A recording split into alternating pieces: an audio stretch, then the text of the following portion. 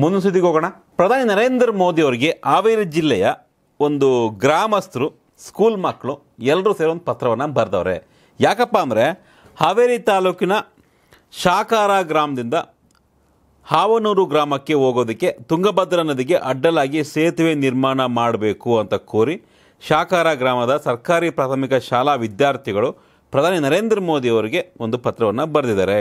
ಈ ಮೂಲಕ ನಾಲ್ಕು ದಶಕಗಳ ಗ್ರಾಮದ ಸಮಸ್ಯೆಗೆ ಪರಿಹಾರ ನೀಡುವಂತೆ ಮನವಿಯನ್ನು ಮಾಡಿದ್ದಾರೆ. ನಾಲ್ಕು ದಶಕ ನಲವತ್ತು ವರ್ಷಗಳಿಂದ ಇದು ಈ ರೀತಿಯಾಗಿದೆ ಅಂದರೆ ಸಂಬಂಧಪಟ್ಟ ಶಾಸಕರು, ಸಚಿವರು ಏನು ಮಾಡಿದ್ರು ಏನೋ ಒಂದು ಹಳ್ಳಿಗೆ ಈ ರೀತಿಯಾಗಿ ತೊಂದರೆ ಆಗ್ತಾ ಇದೆ. ಒಂದು ಸಣ್ಣದಾಗಿ ಒಂದು ಸೇತುವೆ ಬೇಕು ಅಂತ ಅವರು ಎಷ್ಟೇ ಮನವಿ ಮಾಡಿದ್ರು ಆಗಿಲ್ವಂತೆ. ಶಾಕಾರ ಗ್ರಾಮದಲ್ಲಿ ಉತ್ತಮ ಆಸ್ಪತ್ರೆ ಸೌಲಭ್ಯ ಇಲ್ಲ.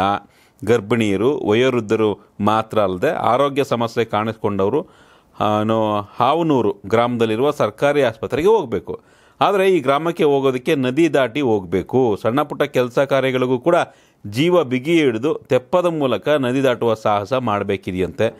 ಜೀವನದ ಬಂಡಿ ಸಾಗಿಸೋದಕ್ಕೆ ಹಲವಾರು ಮಂದಿ ಕೂಲಿ ಕೆಲಸಕ್ಕೆ ಅಥವಾ ಕೃಷಿ ಕೆಲಸಕ್ಕೆ ಹಾವನೂರು ಗ್ರಾಮಕ್ಕೆ ಹೋಗ್ತಾ ಇರ್ತಾರೆ. ಹೀಗೆ ಹೋಗುವವರು ಪ್ರತಿನಿತ್ಯ ತೆಪ್ಪದ ಮೂಲಕ ಹೋಗ್ತಾರೆ.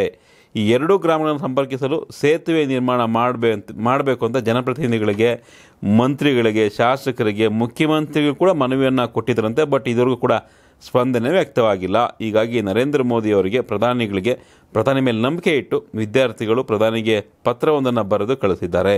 ಈ ಪತ್ರದಲ್ಲಿ ಶಾಕಾರ ಗ್ರಾಮದ ಜನರ ಸಂಪರ್ಕ ವ್ಯವಸ್ಥೆ ಇಲ್ಲದ ಪರದಾಡುವ ಕಷ್ಟವನ್ನು ವಿವರವಾಗಿ ಬರೆದಿದ್ದಾರೆ. ಸೊ ಶಾಕಾರ ಗ್ರಾಮ ಹಾವೇರಿ ಹಾವೇರಿ ಬಸವರಾಜ ಬೊಮ್ಮಾಯಿ ಸಿ ಎಂ ಆಗಿದ್ರಪ್ಪ, ಹಾವೇರಿ ಜಿಲ್ಲೆಯವರೇ. ಅಟ್ಲೀಸ್ಟ್ ಅದು ಮಾಡಿಸ್ಬೋದಾಗಿತ್ತು. ಆಗಿಲ್ಲಂತೆ. ನೋಡ, ನಮ್ಮ ಜನಪ್ರತಿನಿಧಿಗಳು, ಶಾಸಕರು ಎಂ ಪಿ ಸಚಿವರು, ಮುಖ್ಯಮಂತ್ರಿ, ಕರ್ನಾಟಕದ ಯಾವ ಜನಪ್ರತಿನಿಧಿ ಕೈಯಲ್ಲೂ ಆಗಿಲ್ಲ. ಬಾಬಾ ಗ್ರಾಮದ ಸಮಸ್ಯೆಯನ್ನು ಇತ್ಯರ್ಥ ಮಾಡೋಕ್ಕೆ ಈಗ ಪ್ರಧಾನಿಗಳಿಗೆ ಪತ್ರ ಬರೆದಾರೆ, ನೋಡೋಣ, ಪ್ರಧಾನಿ ಏನಾದರೂ ಕರುಣೆ ತೋರಿಸಿ ಆ ಒಂದು ಊರಿಗೆ ಸೇತುವೆ ವ್ಯವಸ್ಥೆ ಮಾಡ್ತಾರಾ ಅಂತ ನೋಡೋಣ. ಎಸ್ ಮುಂದಿನ